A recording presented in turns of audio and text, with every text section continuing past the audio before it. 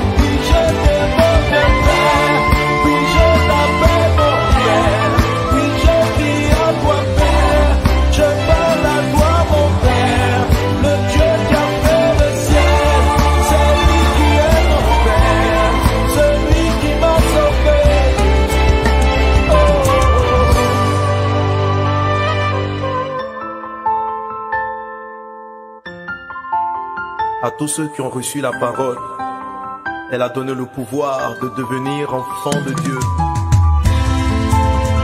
t'ai reçu dans ma vie. Je suis aujourd'hui fils de Dieu.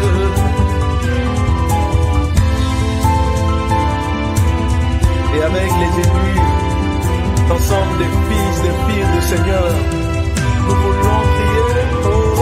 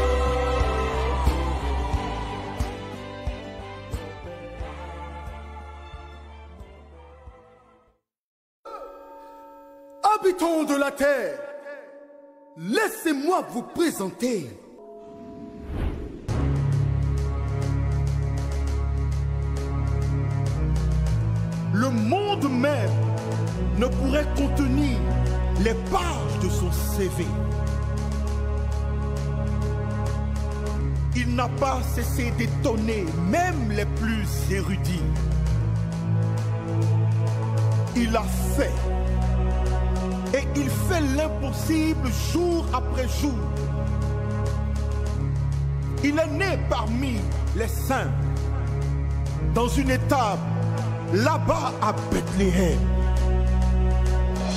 Cependant, il règne pour toujours assis sur un trône de gloire céleste.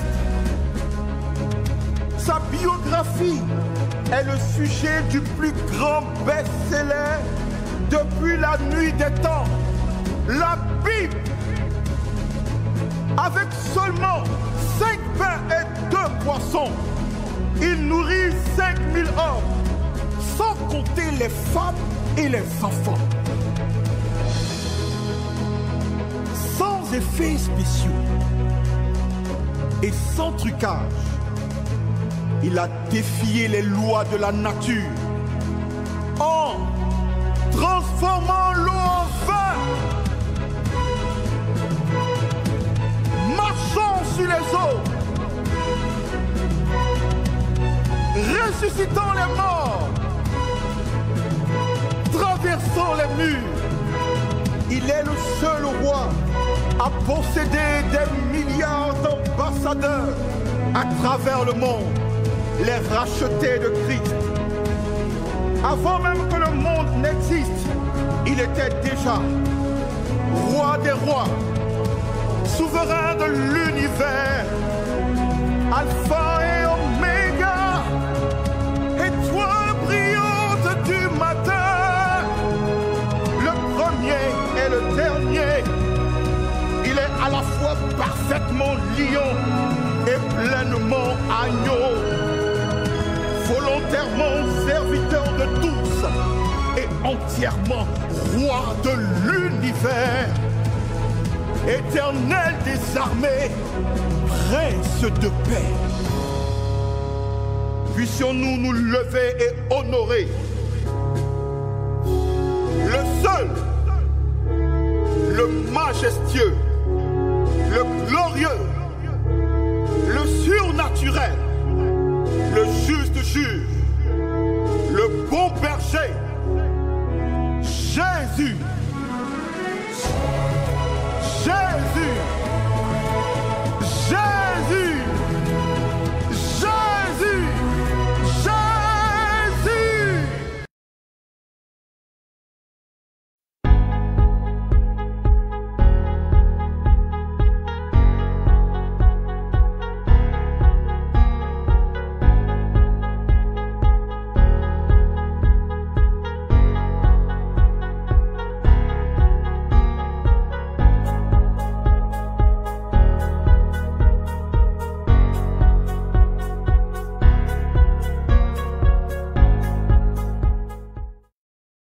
ce matin. Nous avons besoin de toi.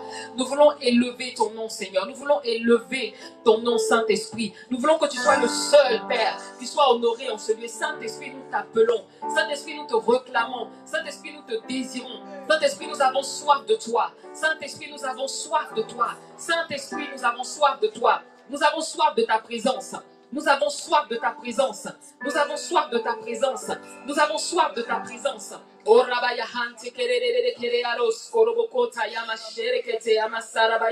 Répands ton onction. Répands ta puissance. Répands ta présence. Nous avons besoin de toi.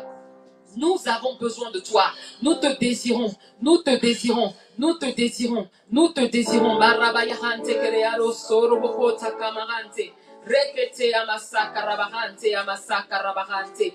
Rekete amasaka rabahante ke amasaka rabahante. Rekete amasaka barabakata yamasa rabahante. Re yamasherekete amasaka rabakata yamas. Seigneur, viens prendre la place ce matin. Viens prendre la place ce matin. Esprit des quatre vents, viens prendre la place ce matin. Viens souffler en ce lieu ce matin. Viens souffler en ce lieu ce matin. Viens souffler en ce lieu ce matin. Viens souffler en ce lieu ce matin. Viens souffler en ce lieu ce matin. Viens souffler en ce lieu ce matin. Viens souffler en ce lieu. Viens souffler en ce lieu. Viens souffler en ce lieu. Nous avons besoin de toi. Nous avons besoin de toi. Nous avons besoin de toi. Et Seigneur, ce matin, nous voulons t'adorer bien plus que tout. Nous voulons t'adorer. La Bible dit que tu sièges dans la louange de ton peuple. Cherches-tu un peuple qui t'adore? Cherches-tu un peuple qui te loue? Cherches-tu un peuple qui sait honorer ta présence? Nous répondons oui, nous voici, Père. Nous répondons oui, nous voici. Nous répondons oui, Seigneur. Nous répondons oui, Seigneur. Nous répondons oui, Seigneur. Nous voulons nous tenir devant ta majesté et reconnaître que tu es le Dieu de gloire, celui qui est digne, celui qui seul est digne, celui qui seul mérite notre louange, celui qui seul mérite notre adoration.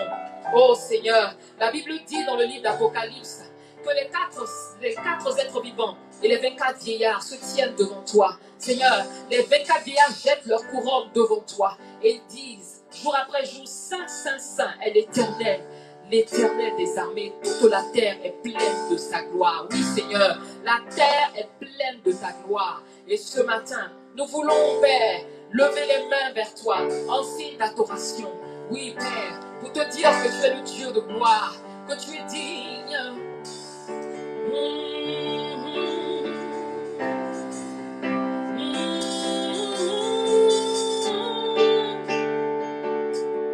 Dieu de gloire, je t'adore. Ton nom en majesté de mes. Je célèbre ta victoire, ton règne, ton autorité, oh merci Dieu de gloire, Dieu de gloire, je t'adore. Et Oh oh majesty. Just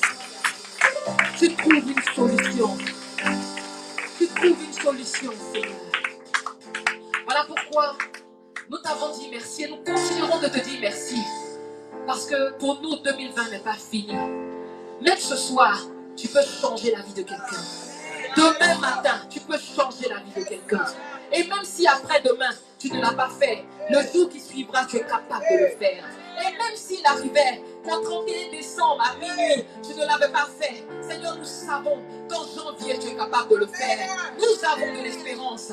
Les gens de ce monde n'ont pas d'espérance. Mais nous, nous avons de l'espérance. Ils vivent, ils ne savent pas.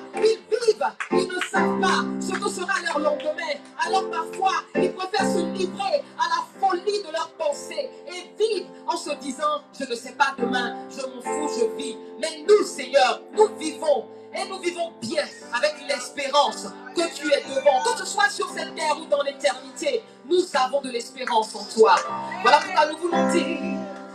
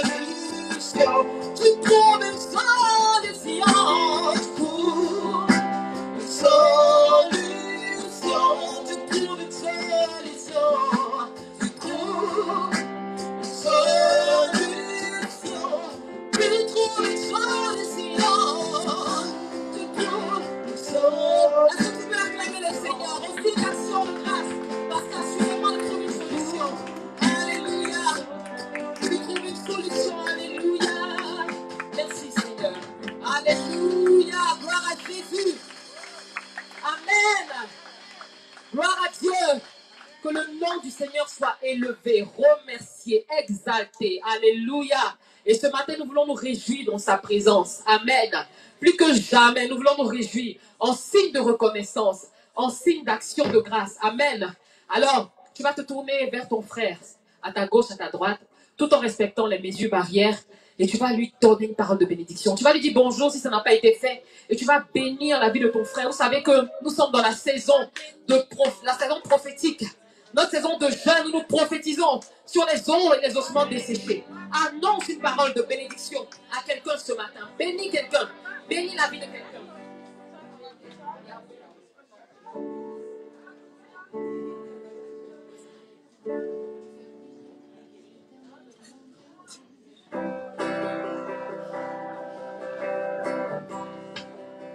Amen. Cette année, nous voulons vraiment bénir le nom du Seigneur encore et encore.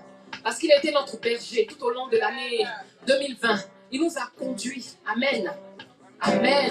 Il nous a conduits assurément. Il nous a conduits, il nous a préservés. Et il nous a fait rester auprès de verts pâturages. En tout cas, si on l'a suivi, il nous a fait boire auprès des courants d'eau.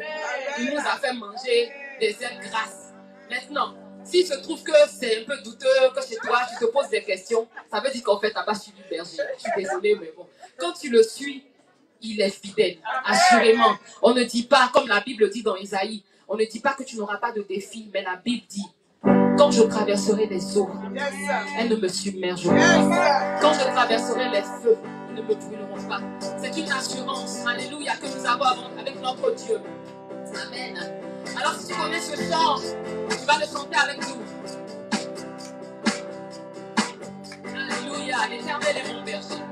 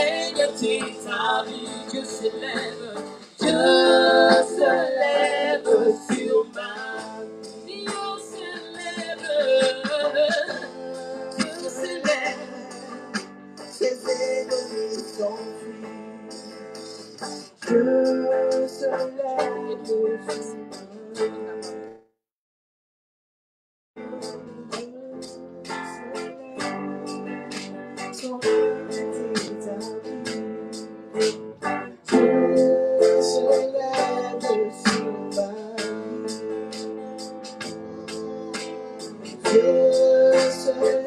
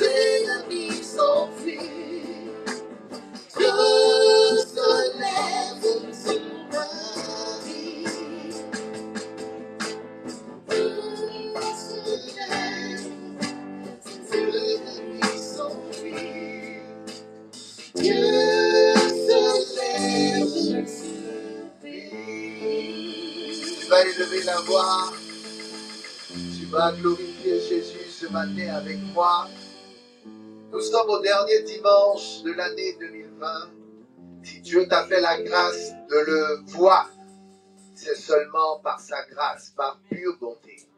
Alors élève la voix, élève la voix, glorifie Jésus, glorifie Jésus, glorifie Jésus. Dis-lui merci. Dis-lui merci, dis-lui merci. Dis-lui merci.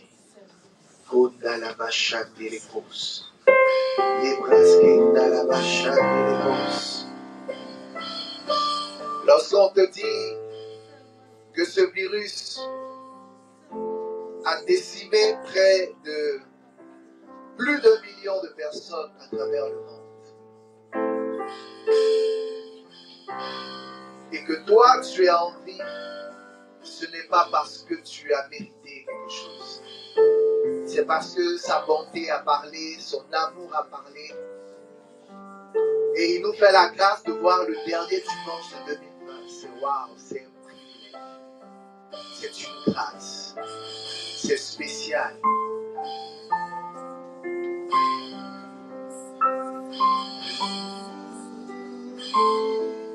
Tu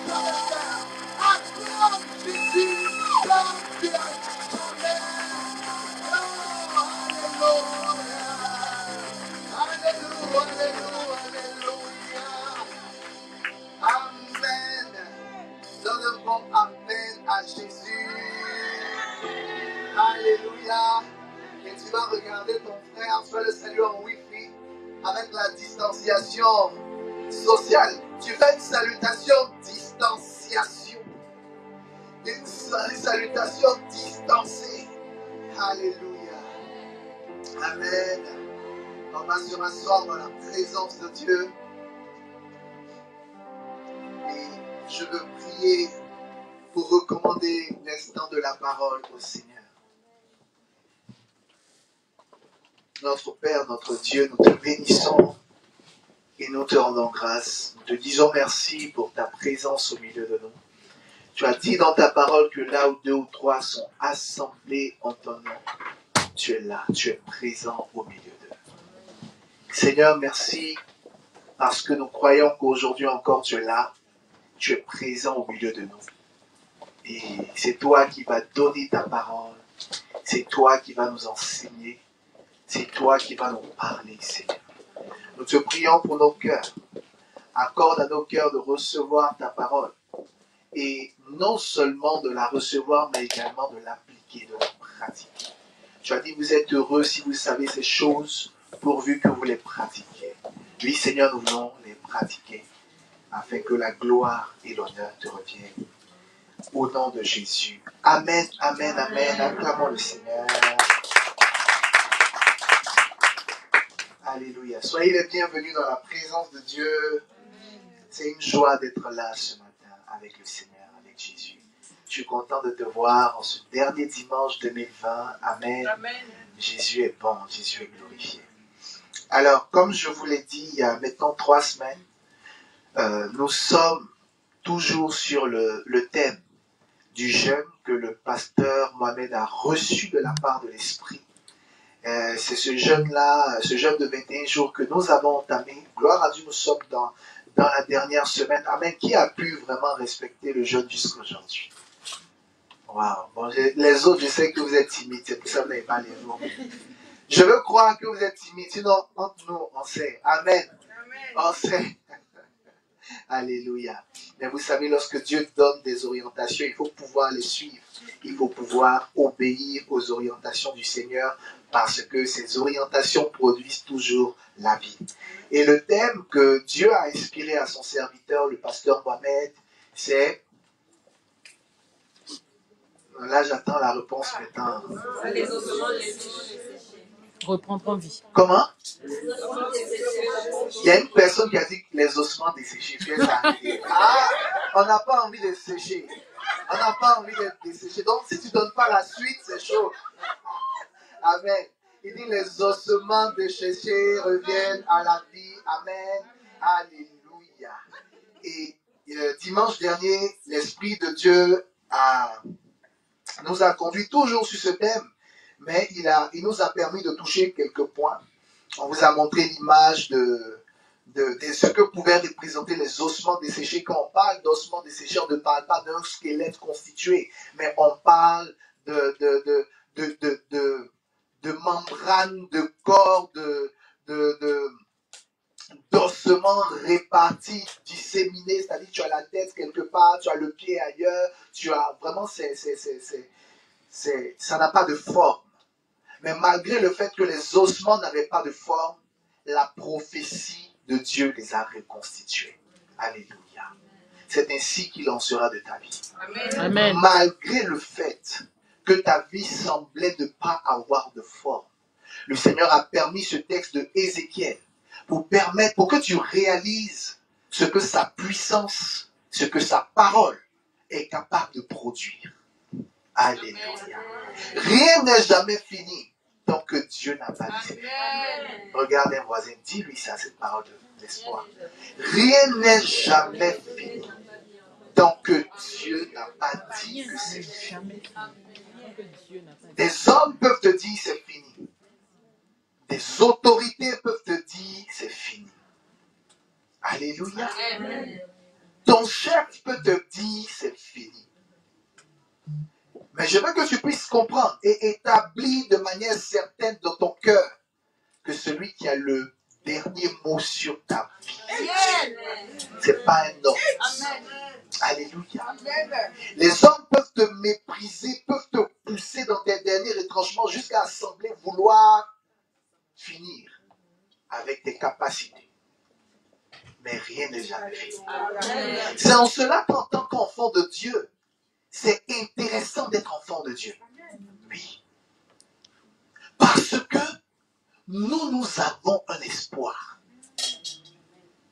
Dieu est tellement sage qu'il a fait en sorte que toutes les solutions de la terre ne se trouvent pas sur la terre. Ça, c'est la sagesse de Dieu. Parce que ça allait être trop facile s'il permettait que toutes les solutions, toutes les réponses de la terre se trouvaient sur la terre. Qui allait avoir besoin de lui? Qui allait avoir besoin de lui? Personne. Mais Dieu est sage. Il a fait en sorte que toutes les solutions, ce ne sont pas toutes les solutions de la terre qui se trouvent sur la terre. Les solutions de la terre, les solutions du terrestre se trouvent dans le surnaturel, se trouvent en lui. Et je vous l'ai dit, il y a deux formes de surnaturel. Tu dois comprendre que la vie n'est pas paramétrée, le monde n'est pas paramétré pour te, pour te rendre heureux. Est-ce que tu sais que le monde, la terre sur laquelle nous vivons, n'a pas été programmé pour que toi tu sois heureux? Tu vas trouver ça bizarre, mais pourtant c'est la vérité. Oui. La terre n'a pas été programmée pour que tu sois heureux. La terre Dieu l'avait à l'origine programmé pour que tous nous soyons heureux. Mais quand Adam et Ève a péché, la terre n'a pas été bénie. Alléluia. Et en plus, il s'est produit quelque chose. La Bible dit dans l'Apocalypse, malheur à la terre. Parce que le diable est descendu animé d'une grande colère. Donc tu te rends compte que non seulement Adam a fait quelque chose qui ne nous arrange pas, mais le diable aussi est venu se rajouter dans la sauce. Donc tous les ingrédients sont réunis pour que la sauce appelée terre soit une sauce difficile pour tous. Mais face à cela, sachant que Dieu est un Dieu d'amour et de bonté, qui veut voir ses enfants être heureux, il a créé un couloir aérien entre le ciel et la terre, afin que ses enfants bénéficient non pas de grâce naturelle, mais de grâce qui quitte le ciel et qui vient les arroser. C'est en cela Jésus pouvait dire, vous verrez les anges de Dieu monter et descendre. Alléluia. Donc Dieu veut ton bonheur sur la terre, mais toutes les réponses ne sont pas sur la terre. Tu vas te rendre compte que les hommes qui n'ont pas Jésus vont aller chercher leurs solutions, parce que comme je te l'ai dit, les solutions ne sont pas toutes sur la terre. Eux, ils vont aller chercher leurs solutions auprès de voyants, auprès de médiums, auprès de marabouts, auprès de féticheurs, auprès de clubs, de loges mystiques. Parce qu'ils savent que toutes les réponses de la terre ne se trouvent pas sur la terre, c'est dans le surnaturel. Mais nous aussi, conscients que toutes les réponses de la terre ne se trouvent pas sur la terre, nous on s'adresse à Jésus. Et Jésus règle nos problèmes. Amen. Quand tu te rends compte de comment est-ce que le diable travaille depuis, depuis, depuis l'enfance même des enfants.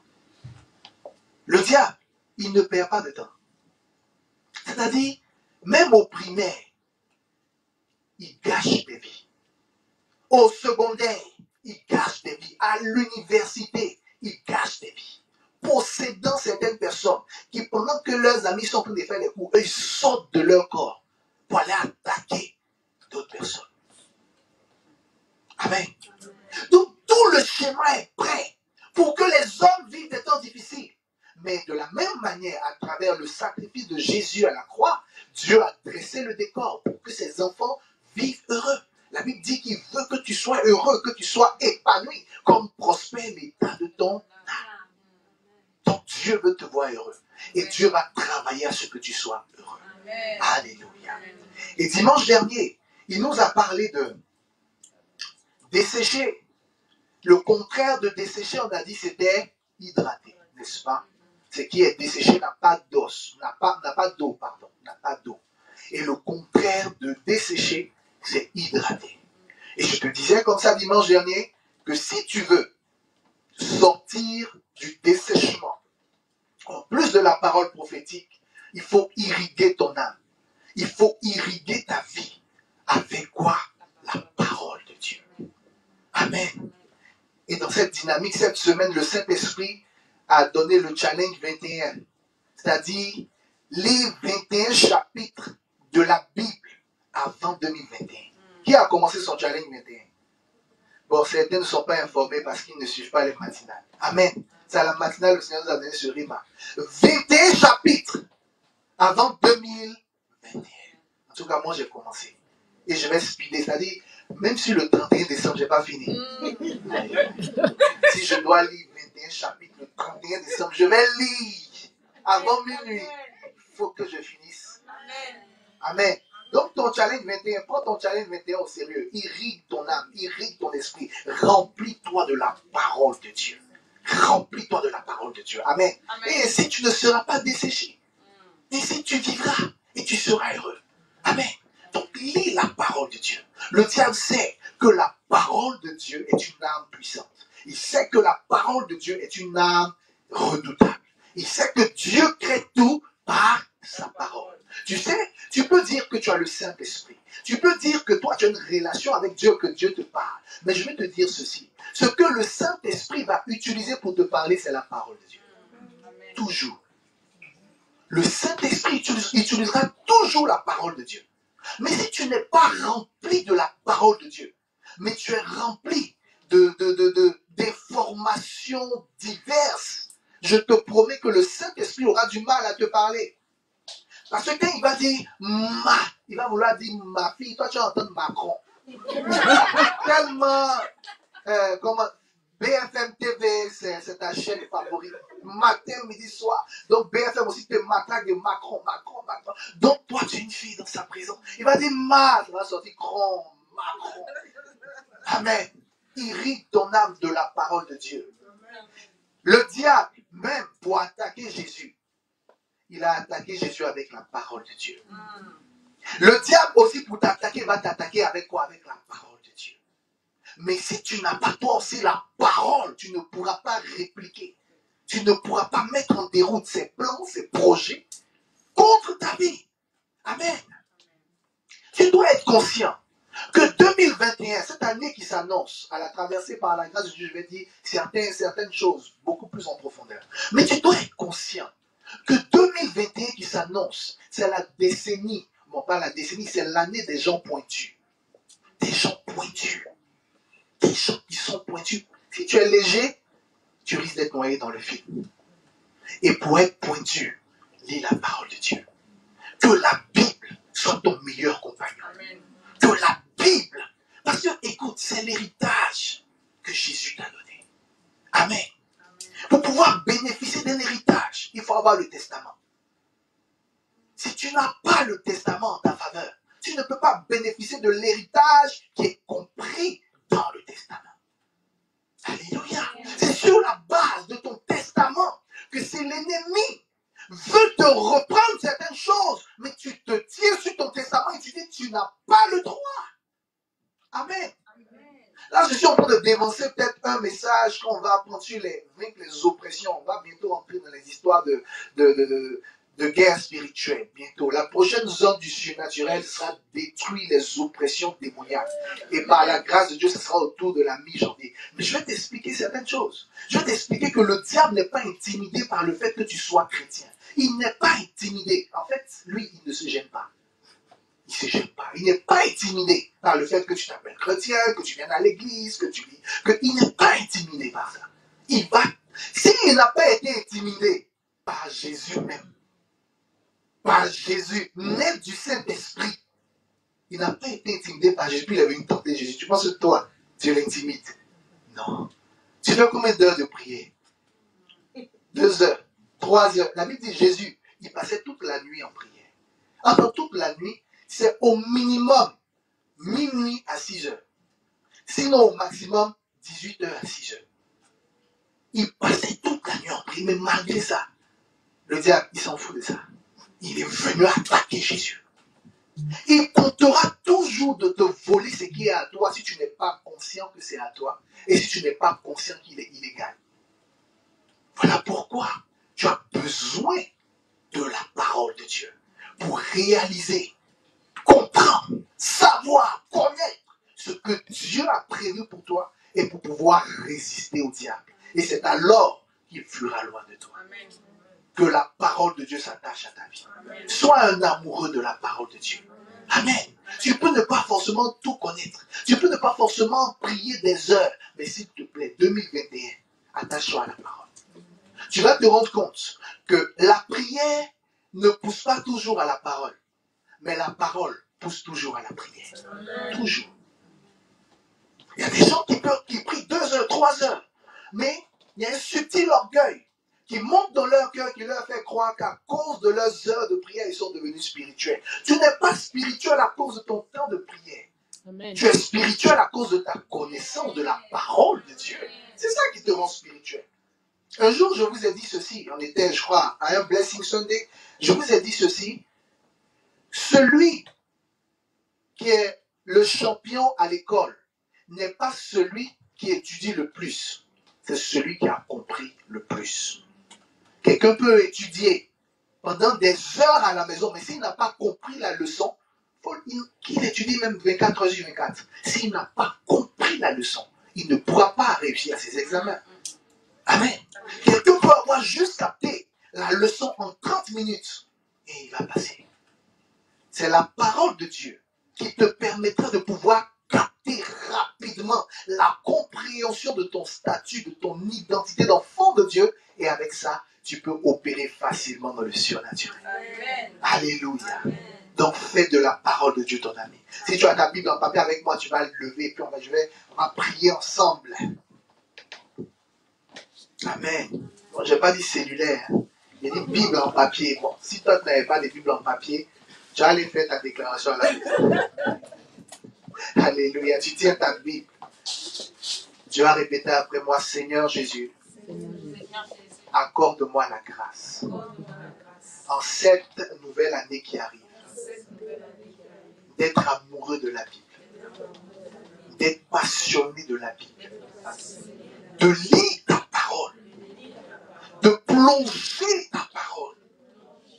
Je t'en supplie, Seigneur, aide-moi à y arriver. Crée en moi l'amour de ta parole plus que tout.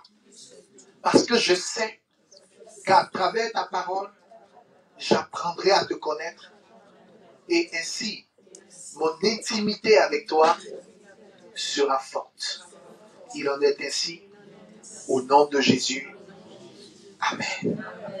Alléluia. Tu peux acclamer la parole de Dieu. Donc c'est ce que le Seigneur nous disait dimanche dernier. Il a parlé de la parole. Il nous a également dit la joie de Dieu. Parce que la Bible dit qu'un esprit abattu dessèche les eaux. Amen. Donc il faut rester dans la joie. Mais plus tu liras la Bible, tu vas te rendre compte que tu seras joyeux. Oui, je te promets. Un cœur joyeux est un bon remède, mais un esprit abattu dessèche les eaux. Plus tu liras la Bible, tu seras joyeux. Tu seras heureux.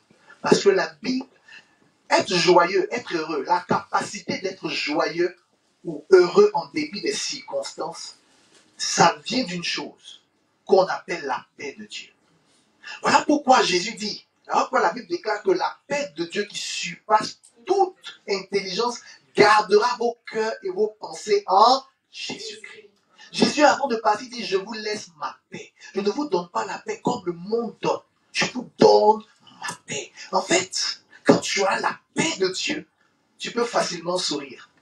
Mais quand tu n'as pas la paix de Dieu, sourire, c'est un championnat. C'est compliqué, je te promets. Parce que réussir à sourire ou réussir à rire en temps de crise, quand tu penses à la crise, tu ne peux pas rire.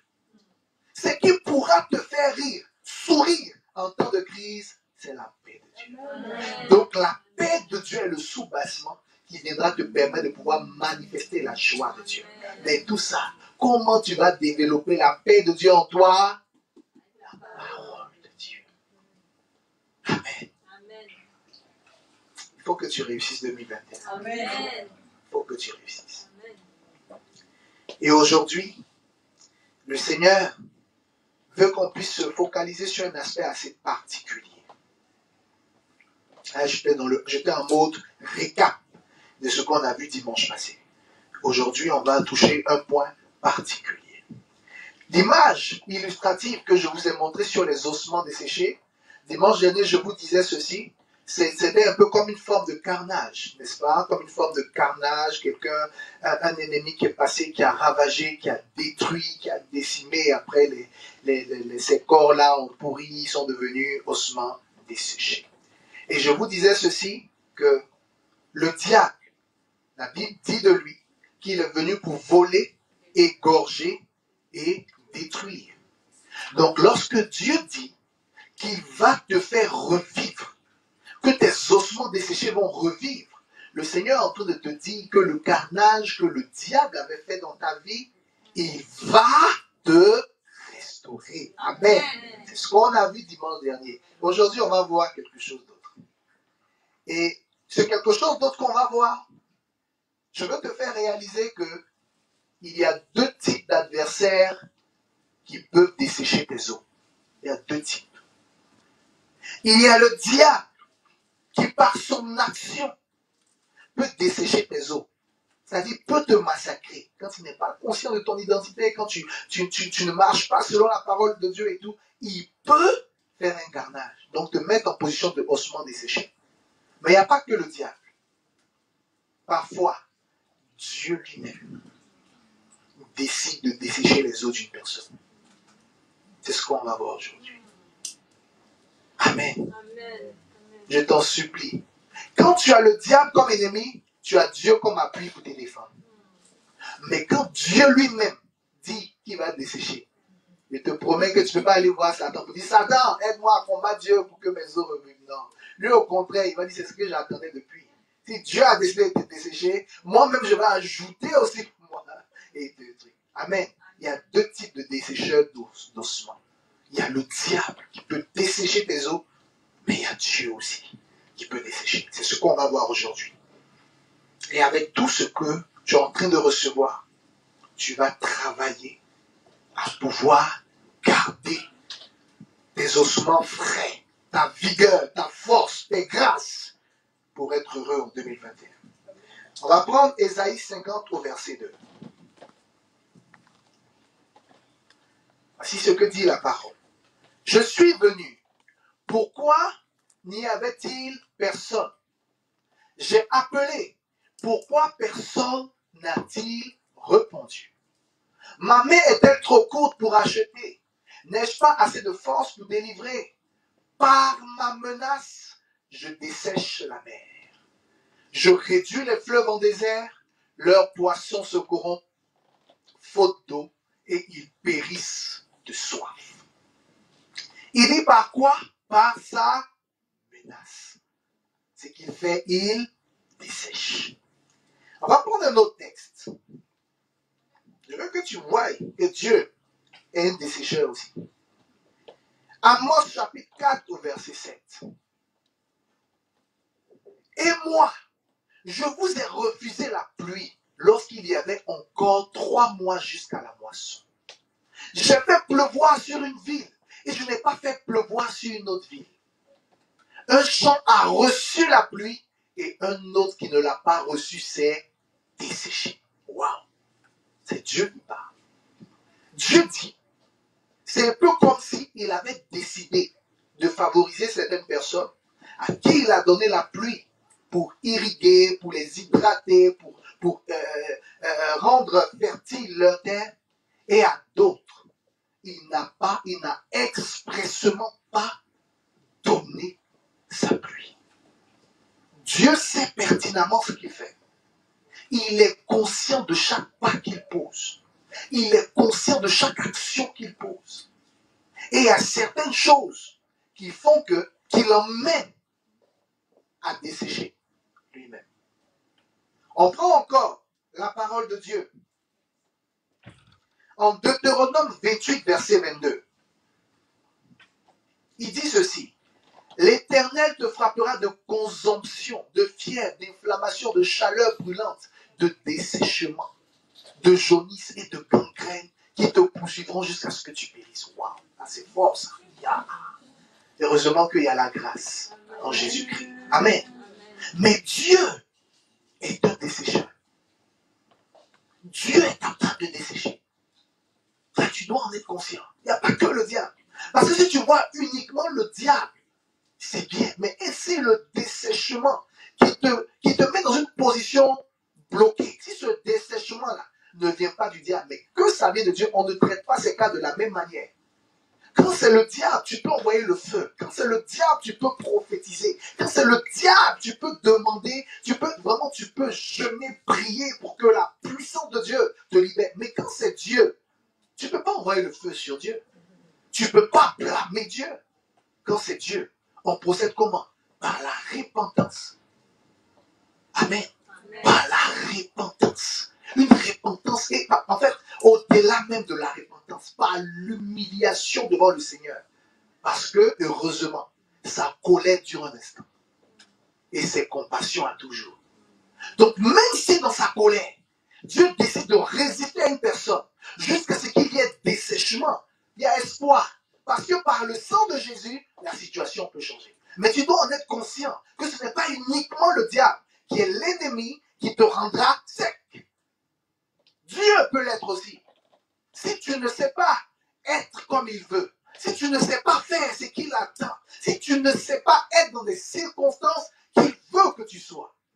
Alléluia. Et pour ça, pour comprendre quelles sont ces circonstances moment donné, un dessèchement peut frapper une personne, un enfant de Dieu, je vais t'inviter à prendre avec moi ta Bible en Marc, chapitre 11.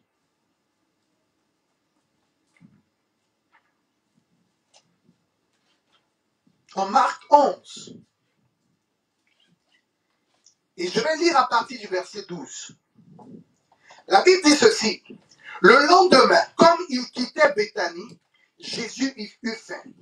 Il aperçut de loin un figuier qui avait des feuilles et alla voir s'il trouverait quelque chose. Mais quand il se fut approché, il ne trouva que des feuilles, car ce n'était pas la saison des figues. Alors Jésus prit la parole et lui dit, que jamais personne ne mange de ton fruit. Et ses disciples l'entendirent. Ils arrivèrent à Jérusalem. Et Jésus entra dans le temple. Il se mit à chasser ceux qui vendaient et qui achetaient dans le temple. Il renversa les tables des changeurs de monnaie et les sièges des vendeurs de pigeons. Il ne laissa personne transporter un objet à travers le temple. Et il enseignait en disant, n'est-il pas écrit, mon temple sera appelé une maison de prière pour toutes les nations, mais vous, vous en avez fait une caverne de voleurs. Les chefs, les chefs des prêtres et les spécialistes de la loi l'entendirent et ils cherchèrent les moyens de le faire mourir. Ils le redoutaient en effet parce que toute la foule était frappée par son enseignement. Le soir venu, Jésus sortit de la ville. Le lendemain matin, en passant, les disciples virent le figuier. Il était desséché jusqu'aux racines. Se rappelant de ce qui s'était passé, Pierre dit à Jésus, Maître, regarde le figuier que tu as maudit est desséché. Amen. Est desséché. Jésus, avec ses apôtres, passe quelque part. La Bible dit que Jésus avait faim. Il voulait manger. Dans une autre version, on te précise que ce n'était pas la saison des figues. Alléluia. Mais malgré ça, Jésus avait faim, sachant que ce n'était pas la saison. Il se positionne devant le figuier, il veut prendre une figue, mais il n'y a pas de figue. Et il maudit le figuier. Waouh! C'est bizarre. Amen. Et juste après ce qui suit, on te dit Jésus entre dans le temple et il s'est mis à tout, il s'est mis à tout casser. Je veux te faire remarquer ceci. Il y a une relation, ou sinon une corrélation, entre le figuier qui a été maudit et ce qui se passait dans le temple. C'est lié. Même si, tel que le texte est décrit, on ne voit pas forcément le lien. Alléluia, c'est lié. C'est lié. Alléluia, et tu vas comprendre. Le désordre qu'il y avait dans le temple en ce moment-là, Jésus les regarde et il dit, mais n'est-il pas écrit que ma maison sera appelée une maison de prière? Vous en avez fait une caverne de voleurs, de brigands, où toute forme de choses s'y trouve où c'est devenu comme un lieu de commerce, comme un lieu de jeu, comme un lieu où on fait ce qu'on veut. Où s'est rendu compte, Jésus, que c'est un peu comme si l'honneur à Dieu avait quitté le temple. Je veux te dire ceci. Lorsque l'honneur dû à Dieu quitte la maison du Seigneur, l'environnement même est affecté. C'est parce qu'il n'y avait plus d'honneur dans la maison de Dieu le figuier, là, il a été maudit. Pourquoi? Parce que l'atmosphère spirituelle des environs est comme si ça avait, ça avait été, ça avait, ça, ça avait été attaqué, c'est comme ça avait été pollué, c'est comme ça avait été infecté. Dans la pratique, ce n'était pas la saison des fruits. Ce n'était pas la saison de la moisson.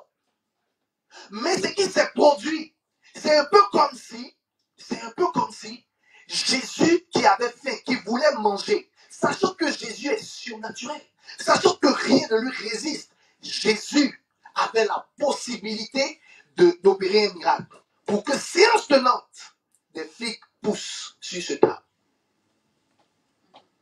Mais l'atmosphère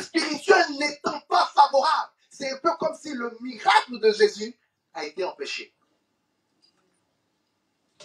Alléluia. L'atmosphère ne s'y prêtait pas. L'atmosphère n'était pas favorable. Et c'est parce que l'atmosphère n'était pas favorable que c'est comme si ce miracle a avorté.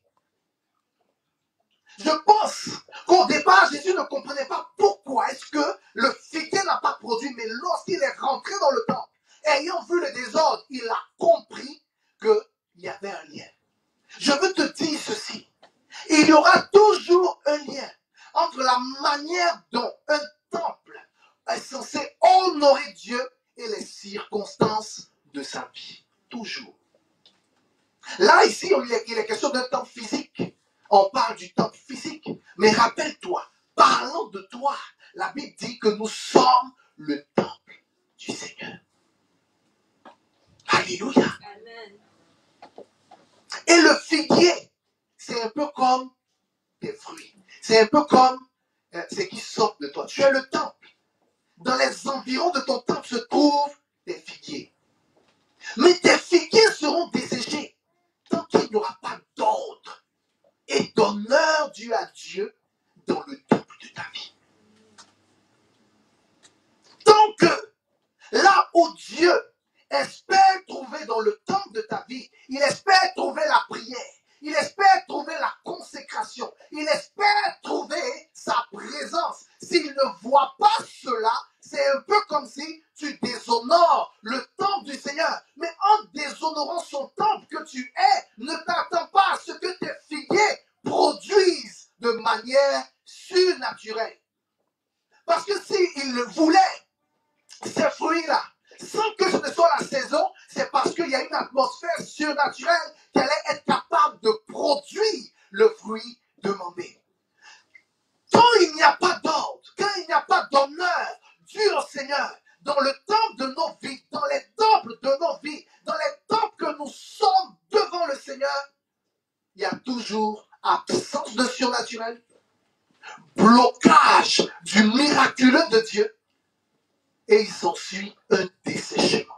Parce que les figuiers de nos vies ne permettent pas à Jésus d'être glorifié. 2021, prends la résolution d'entrer en profondeur de ta vie et d'honorer Dieu. Alléluia. Honorer Dieu de tout. Les disciples étaient certainement étonnés de voir Jésus ici. Ils étaient étonnés. Parce que Jésus, l'homme doux, l'homme pacifique, l'homme gentil, l'homme qui aime les enfants, qui s'approche de tout, l'homme qui, aime voir les gens prospérer, heureux, épanouis. Mais on le retrouve sous un autre visage. Un visage de quelqu'un qui manifeste une colère sans se retenir. Un visage de quelqu'un qui est en train de détruire les affaires, les opportunités des gens. Écoute-moi. Lorsque principalement ta vie n'honore pas Dieu, est-ce que tu sais que certaines opportunités dans ta vie peuvent en payer le prix? Pourquoi Jésus a fait ça? Parce qu'il s'est rendu compte que le, point central dans le temps était devenu l'intérêt des personnes. Leur intérêt personnel. Ce qu'ils gagnaient, ce qu'ils désiraient, ce qu'ils cherchaient. Leurs propres affaires. Leur propre volonté. Leur propre désir. C'était devenu le centre de tout. Là où le temple avait été créé pour un but, l'honneur à Dieu, le temple dont il est question en Marc 11, l'état du temple dont il est question en Marc 11, c'est un peu comme si ce temple-là s'est détourné de ce qu'il était censé être. Un temple censé honorer Dieu. Est-ce que ta vie aujourd'hui, à l'aube de 2021, tu peux t'asseoir et attester de tout ton cœur que ta vie honore Dieu comme il veut honore le Seigneur. Sinon, il y a une menace, il y a un risque Le risque que Jésus soit en colère. Le risque que Jésus s'emprenne à ce qui a pris ton cœur. Le risque que Jésus s'emprenne à ce qui a dompté, ce qui a gagné ton cœur. Amen. Dieu veut l'exclusivité. Dieu ne veut pas une portion. Dieu, il veut tout.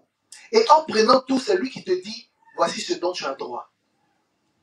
Il ne veut même pas du 50-50. Seigneur, je donne 50%, je prends 50% de mon temps, de ma vie, de mes choix, de mes décisions. Il veut tout. Il veut l'exclusivité. Parce qu'il t'a créé comme étant son temple. Censé révéler sa gloire. Censé refléter sa gloire.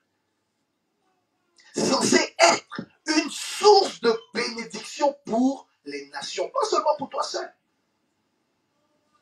Il dit, mais on avait dit que ce lieu allait être un lieu de prière pour les nations. Mais qu'est-ce qu'il est devenu? Amen. 2021. 2021 qui arrive. Sois un temple qui fait honneur à ton Dieu. Fais honneur à Dieu. Fais honneur à Jésus. La Bible dit, que sert-il à un homme de gagner le monde s'il perd son âme? Que sert-il à un homme de posséder, là je paraphrase, ce que Dieu est capable même de lui donner s'il perd sa relation avec Dieu? Alléluia. 2021. Fais la guerre à ce qui t'éloigne de Dieu. Fais la guerre à ce qui te détourne de Dieu. Fais la guerre à ce qui prend la place de Dieu dans ton cœur. Et ça, ce n'est pas quelque chose que les hommes pourront jauger. Ce n'est pas quelque chose que tes frères en Christ pourront jauger. Ce n'est pas quelque chose que ton pasteur pourra jauger. Mais celui qui jauge ça au quotidien et de manière régulière, c'est le Saint-Esprit. Amen, c'est le Saint-Esprit. C'est lui qui te connaît mieux que tous.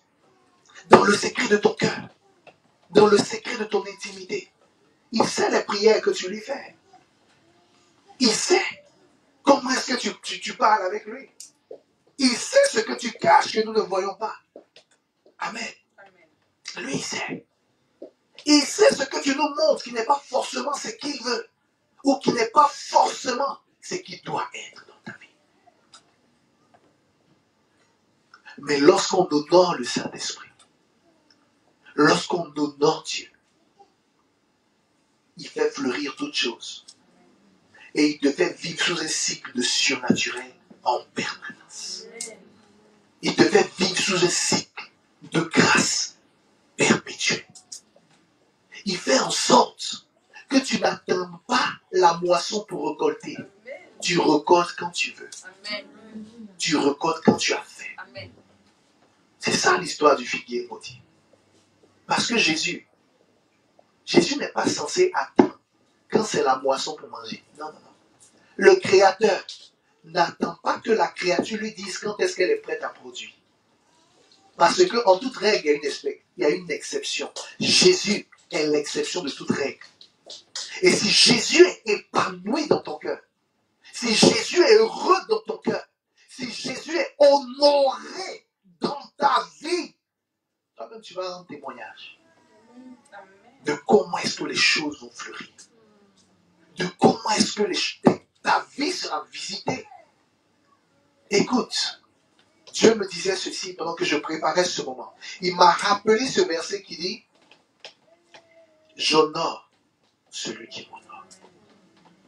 Et je pense que 2021, où nous sommes en train d'aller, nous sommes en train de rentrer dans cette, dans cette, dans, dans l'esprit et dans le sang de ce verset. De j'honore celui qui m'honore. Alléluia. Il faut que ta vie honore Dieu. Parce que je te promets que si de manière individuelle ta vie honore Dieu, si chacun d'entre nous, nos vies honorent Dieu, nous serons pour lui un temple saint. Nous serons pour lui un peuple acquis. Nous serons pour lui une nation sainte. Et Dieu prendra toujours plaisir à se déployer au milieu de nous. Fais la guerre à ce qui empêche Dieu de se mouvoir dans ta vie. Fais la guerre à cela. Alléluia. Fais la guerre à ce qui prend ton temps plus que Dieu. Fais la guerre à ça. Alléluia. Il faut que Dieu passe avant tout. Il faut que Dieu soit d'abord tout pour toi. Lorsque lui, il est installé dans ton cœur, le reste, il s'en occupe. Amen. Amen, amen, amen. Je sais que ça, c'est les messages qui ne sont pas toujours plaisants à entendre. Mais c'est la vérité. Amen. Parce qu'à travers les versets, je t'ai montré que Dieu, c'est un dessécheur. Jésus, même Jésus m'a desséché. Dessèchement, là, il connaît. Alléluia. Dieu, c'est un dessécheur. Donc, ne fais pas en sorte qu'il te dessèche. Mais travaille à ce qu'il t'arrose continuellement. Amen. Amen, amen, amen. Est-ce que tu peux acclamer la parole du Seigneur? Même si elle pique ton âme, acclame la parole du Seigneur. Alléluia. Donc, honore Dieu.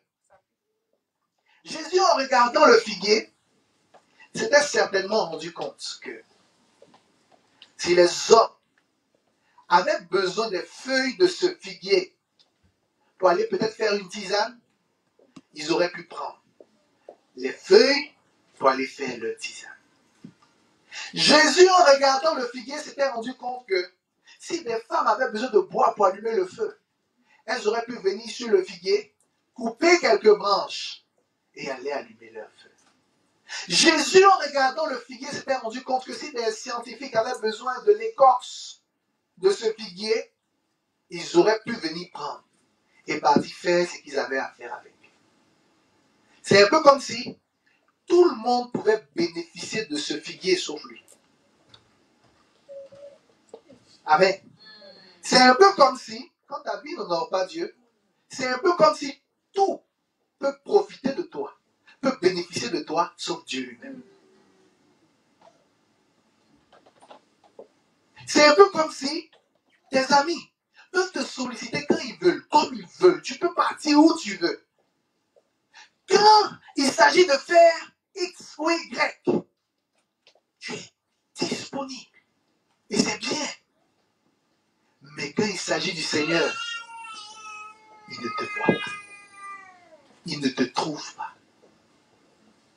Amen. Quand il s'agit d'avoir certaines attitudes en fonction vis-à-vis de certaines personnes élevées, ça peut être un patron, ça peut être euh, n'importe qui, euh, une relation d'affaires et tout. Tu as une attitude. Mais quand il s'agit de Dieu, tu as une autre attitude. Écoute-moi. 2021. 2021. 2021 qui vient. Décide que l'honneur soit d'abord à Dieu seul. À Dieu seul. C'est-à-dire, Dieu doit savoir pouvoir compter sur toi. Je reprends le verset de Ésaïe 52. Remets le verset de Ésaïe 50, verset 2. Tu vas voir. Je l'avais lu rapidement au départ. C'était à dessein. Je le reprends. Ésaïe 50, verset 2. Il dit ceci. Je suis venu. Pourquoi n'avait-il personne? Wow. C'est-à-dire, il explique pourquoi à la fin il a desséché. Tu vois? Il explique pourquoi à la fin il a desséché. Il dit, moi, Dieu, je viens. Mais en réalité, attends, c'est moi que les gens sont censés attendre ou c'est moi qui dois les attendre? Il dit, je suis venu, il n'y avait personne. J'ai appelé, pourquoi personne n'a-t-il répondu à mon appel? Ensuite, il dit, ma main est-elle trop courte pour racheter? Là, là, c'est qu'il est en train de dire. C'est un peu comme si, quand il est venu et qu'il n'a trouvé personne, quand il a appelé et que personne n'avait répondu, c'est un peu comme si ces personnes-là étaient en train de s'occuper de ce qui pouvait les racheter. Ces personnes étaient en train de, s'occuper de ce qui pouvait à leur sens, donner une valeur à leur vie. Donc, comme pour ces personnes, ce qui pouvait donner de la valeur à leur vie, ce qui pouvait donner du poids à leur vie, c'était peut-être des choses qu'ils avaient à faire. Des- voilà, des projets et tout et tout. Dieu se pose la question, mais ne crois-tu pas que moi, Dieu, je sois capable de te racheter bien plus que ce que tu crois? Alléluia. Il dit, n'ai-je pas assez de force pour délivrer? Délivrer de quoi? Délivrer de la galère?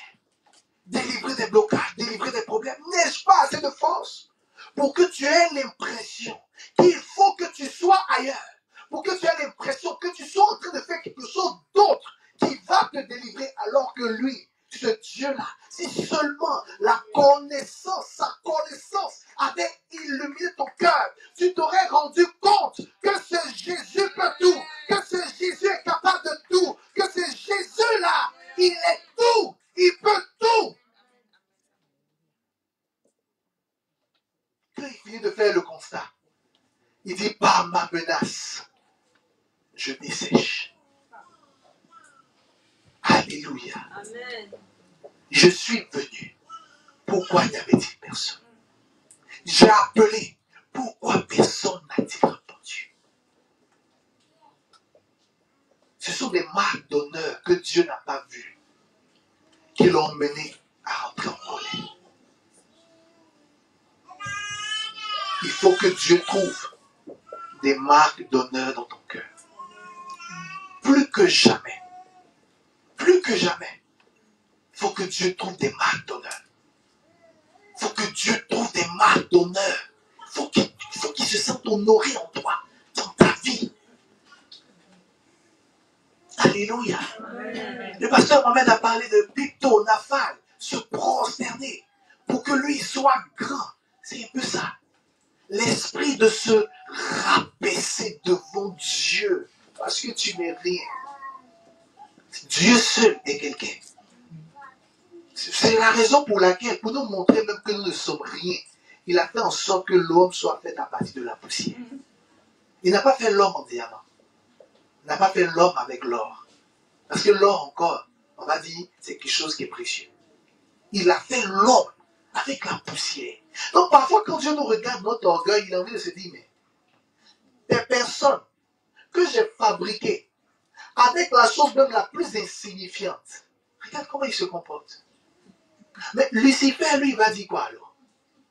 Parce que quand tu lis la Bible, tel que Lucifer avait été designé, créé, c'était un autre level de gloire. Mais il se rend compte que malgré tout, la manière dont il a bien créé Lucifer, Lucifer s'est révélé. Il s'est dit, bon, ok, j'ai créé les hommes et la poussière pour voir. On dirait qu'en créant, on dirait que quand j'ai créé les gens trop glorieux un coup, ils deviennent bizarres. J'ai créé avec la poussière l'infiniment petit. Il finit de faire ça. Et puis, la poussière aussi parle. La poussière aussi fait malin. La poussière aussi a bouche. Amen. Connaissons notre statut devant Dieu. Il nous a créés avec ce qui semble insignifiant. Pour qu'en réalité, la véritable gloire que nous sommes censés transporter, ce soit la gloire de Dieu. Et non nos propres gloires. Amen. Rappelle-toi toujours de cette phrase pour 2021. Si Dieu t'a créé avec la poussière, c'est parce que ta gloire ne se trouve pas dans ce que tu es. Ta gloire ne se trouvera pas dans ce que tu transportes naturellement. Ta gloire deviendra du Saint-Esprit. Le jour où tu l'oublieras, le jour où tu oublieras ça, que ta gloire vient de l'Esprit de Dieu, tu vas te rendre compte que les choses vont dessécher dans ta vie. Les choses vont dessécher. Mais tant que tu seras conscient que ta gloire vient du Saint-Esprit et que toi-même tu n'es rien et que toi-même tu dois toujours lui montrer les marques d'honneur, l'honorer dans ta vie, l'honorer dans tes choix, l'honorer dans tes décisions, l'honorer quand il s'agit de son œuvre, l'honorer quand il s'agit de faire sa volonté. Tu vas créer quelque chose tu vas créer la joie de Dieu à ton sujet. Quand Jésus est fâché, il détruit. Et quand il est heureux, qu'est-ce qu'il fait? Amen. Et je vais le redire autrement. Quand Jésus est fâché, il détruit. Mais quand il est heureux, il bâtit. Quand Jésus est fâché contre un temple, il le détruit. Et quand il est heureux d'un temple, il le bâtit. Moi, je veux que Dieu bâtisse ma vie en 2021. Alléluia. Je veux que mon Dieu me bâtisse. Et pour qu'il me bâtisse, je dois faire sa joie. Pour qu'il me bâtisse, je dois m'employer à l'honorer comme jamais. Que cela soit notre partage. Au nom de Jésus-Christ. On va prier. Alléluia. On va se lever et on va parler à notre Dieu. On va lui parler.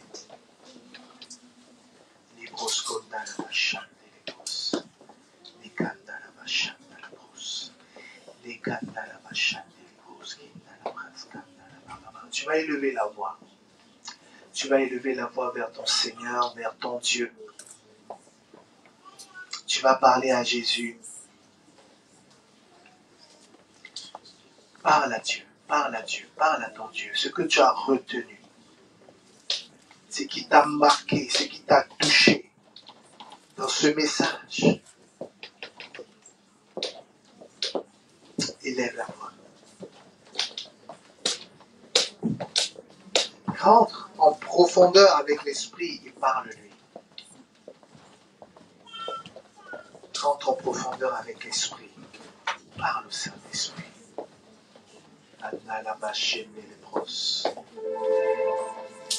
Que nos vies t'honorent, Seigneur. Que nos vies t'honorent, Jésus.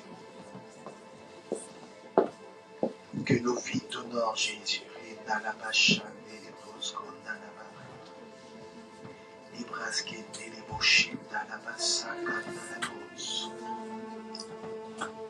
Accorde-moi la grâce de t'honorer.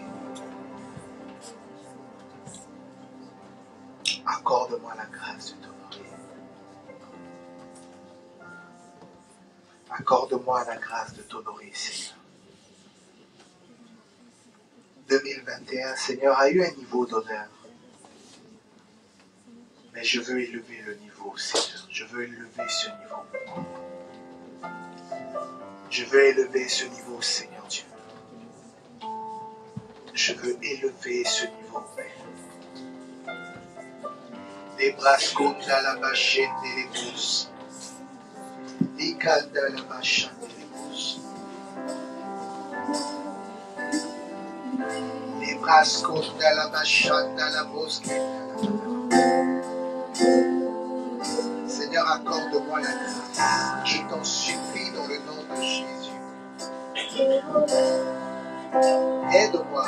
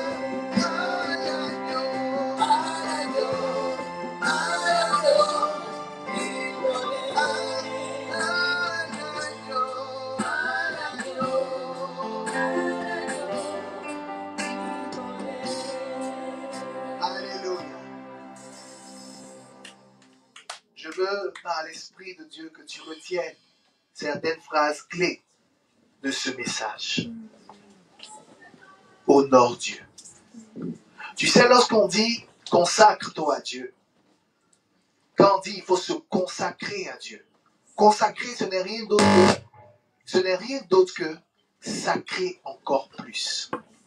Alléluia. C'est ça consacrer. Se, se sacraliser davantage. Tu ne peux te sacraliser davantage que dans ta capacité à honorer le Seigneur. Alléluia. Je veux aussi, par le Seigneur, ajouter ce point. Honorer Dieu, ce n'est pas une affaire de groupe, c'est individuel. Ah oui, j'ai senti l'Esprit me donner cette phrase. Ce n'est pas une affaire de groupe. C'est une affaire individuelle. C'est une décision personnelle. Ne pas voir des gens se consacrer, ça ne doit pas toi te décourager à te consacrer. Amen. Amen. Parce que ce n'est pas une affaire de groupe. Plaire à Dieu, c'est individuel. Dieu ne va jamais te juger en groupe. Il te juge sur ce que ta vie produit vis-à-vis de lui. Amen. Et je le dis, pour que rien ne te décourage à te consacrer à Dieu. Sois de la génération de Noé, qui est au milieu d'une foule de personnes qui étaient devenues pervers. Il a su rester fidèle à Dieu. Et il a su honorer Dieu en dépit de tout. Amen.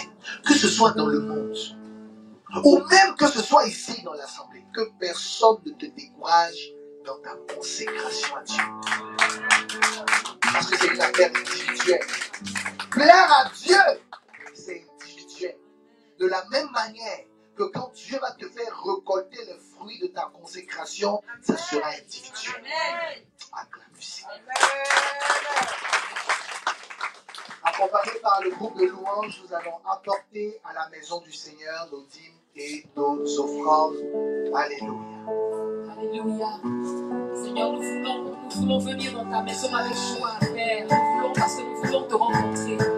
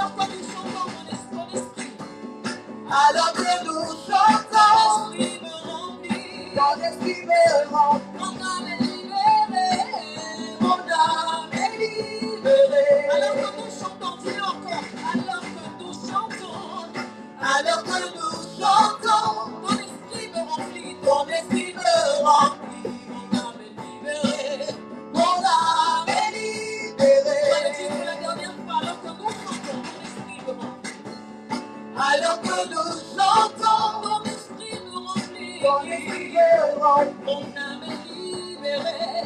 mon âme.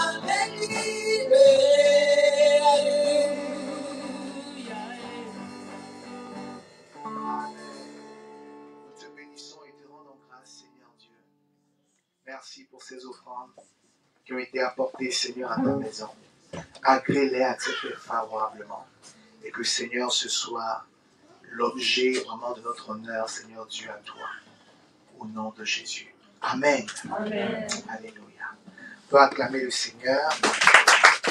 On va se rasseoir. Euh, on va se rasseoir. Oui, le groupe de aussi. Je vous rappelle tout de suite, notre culte tire à sa fin, mais avant, il y a certaines choses que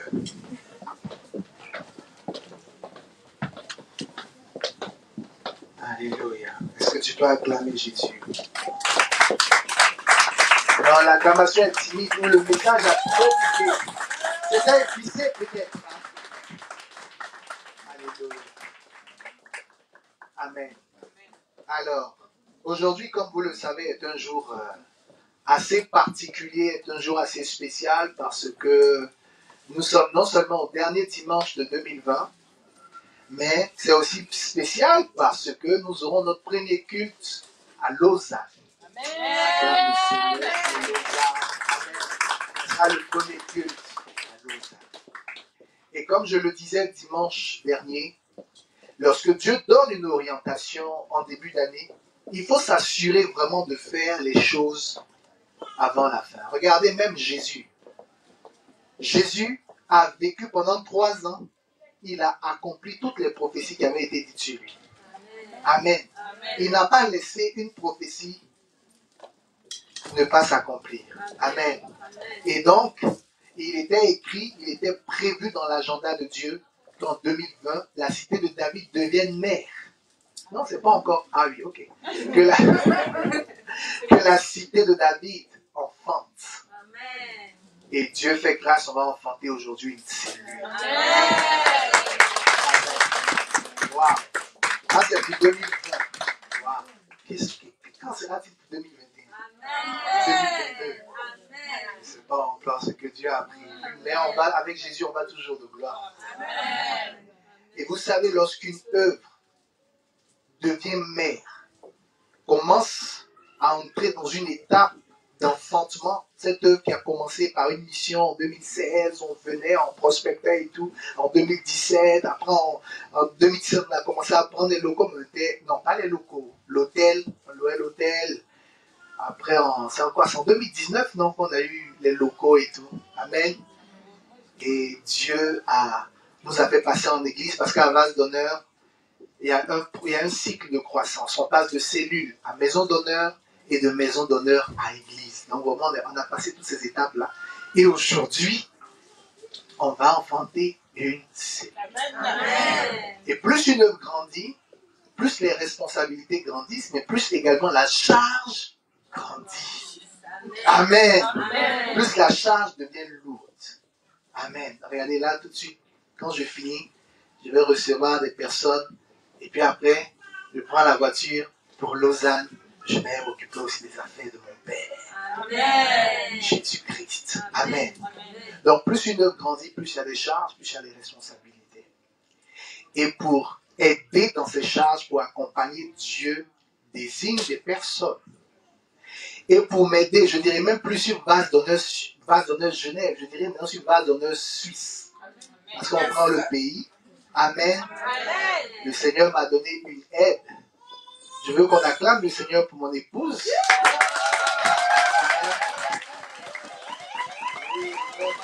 Même.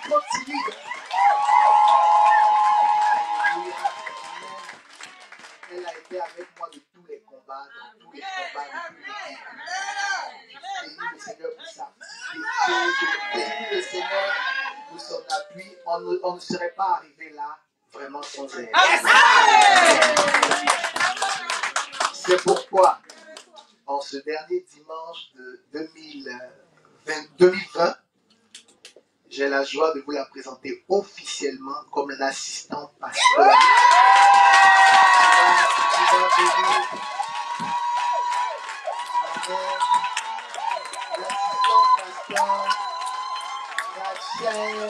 va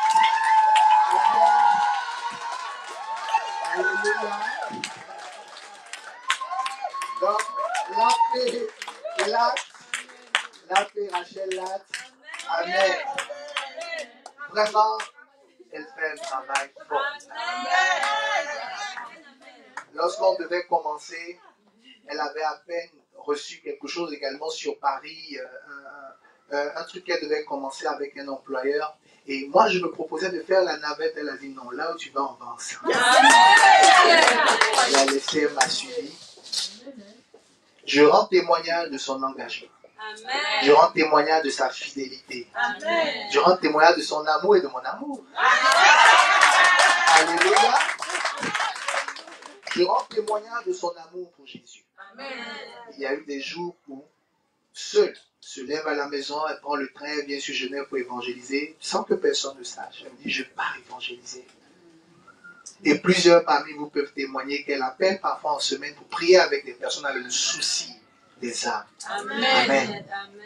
Devenir pasteur ou assistant pasteur, ce n'est pas une promotion ni une nomination à base d'honneur, tel que pasteur Mohamed nous a enseigné. C'est pas comme ça on fonctionne.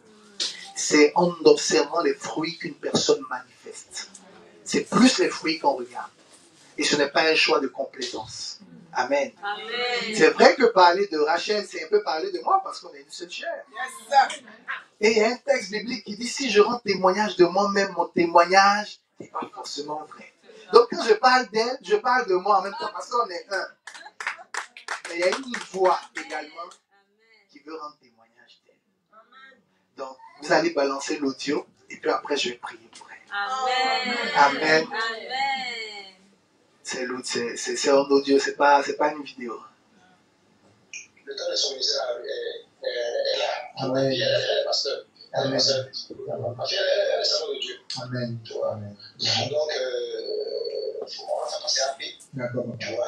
Et puis, voilà, paiement, PA, pour qu'elle officiellement assise. Et puis, donner de la connaissance. Tu vois, voilà. Et vraiment, que tu, que tu, que tu travailles dans, dans, dans, vraiment dans l'esprit d'expansion. Amen. Donc ça, c'est la voix de notre Père spirituel, Pasteur Mohamed, qui a dit, le temps de son ministère est là. Amen. Et moi, je l'avais senti, la semaine où je l'ai senti, lui et moi, on s'est appelé, c'était pas pour ça qu'on s'est appelé, puis il me l'a dit. Le temps de son ministère est là. Faut qu'elle se lance. Amen. Donc, au-delà du témoignage que j'ai, notre Père spirituel, président des églises vases d'honneur, a également ce témoignage-là pour le temps de son. Tu vas te mettre à genoux et je vais prier pour toi. Tu lever les mains. Seigneur, je te bénis, je te rends grâce. Je te dis merci pour l'excellente aide que tu m'as donnée, Seigneur. Je sais que tu es en train de faire passer ton Église à une autre étape, à un autre niveau. Et Seigneur, à ce niveau-là, nous savons compter toujours sur toi, Esprit de Dieu. Merci pour l'assistance, la première AP. Ce ne sera pas la dernière, mais elle est la première AP, Seigneur, que tu mets à mes côtés pour m'assister officiellement. Je la bénis dans le nom de Jésus. Je relâche sur sa vie ta grâce. Je relâche sur ta vie ton onction. Je relâche sur sa vie ta puissance. Accorde-lui la grâce, Seigneur, d'opérer, Seigneur, selon le Saint-Esprit et selon ce que tu as prévu, Seigneur, pour son ministère et pour sa vie. Merci, Jésus, parce que tu rendras témoignage de son appel à travers des signes, des, des- des miracles et des prodiges, dans le nom puissant et précieux de Jésus-Christ. J'ai prié. Amen. Donc, au nom du Seigneur qui bâtit son œuvre, le pasteur Mohamed Sanogo, président des églises Vases d'honneur et en mon nom personnel, résident sur la Suisse, je vous présente AP, Rachel.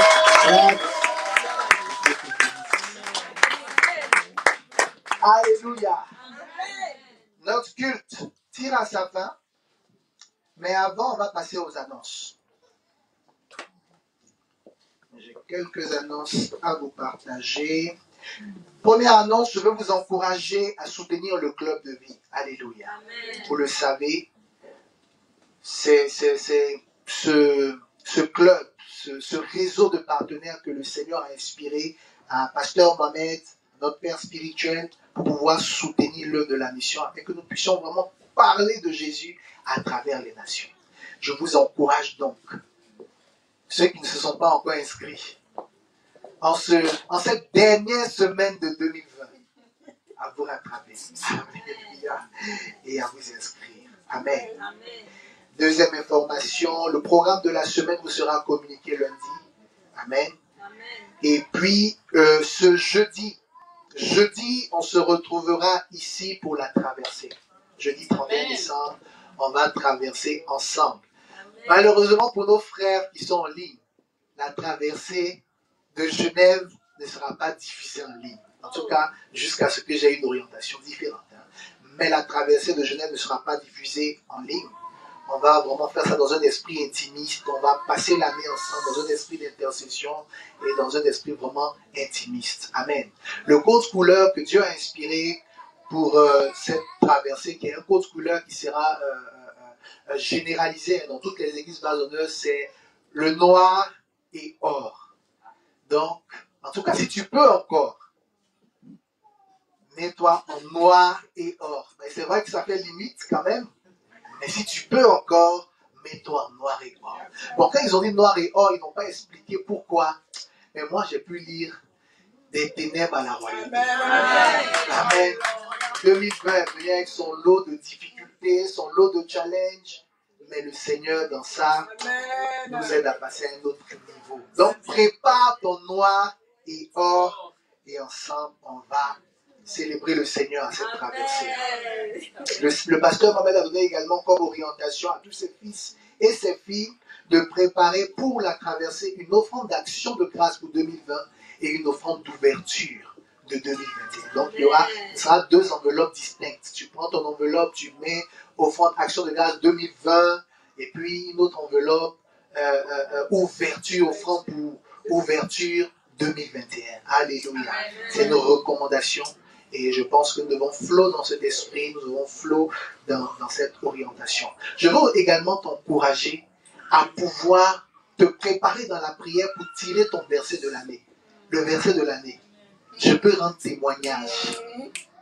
Et tout à l'heure, j'ai un grand témoignage à vous rendre. Mais malheureusement, ce témoignage ne sera pas en ligne. Ça sera pas en ligne. Il y a des choses sérieuses, on s'est dit en famille. Amen. Sur Facebook, on est un peu trop sur la place publique. Donc, je dois vous rendre mon témoignage, mais en privé. Donc, nos amis internautes, vraiment, je suis désolé. Amen. On va bientôt prendre congé de vous. Et puis, nous, on va continuer à se dire les choses ici. Alléluia. Est-ce que. Attends, j'ai plus d'informations, non? Bon, on va déjà dire au revoir à nos amis internautes. Disons-leur bon au revoir. Il faut qu'ils entendent toi leur au revoir. Au revoir, nos frères internautes. Amen. Que Dieu vous bénisse. Alléluia. Amen.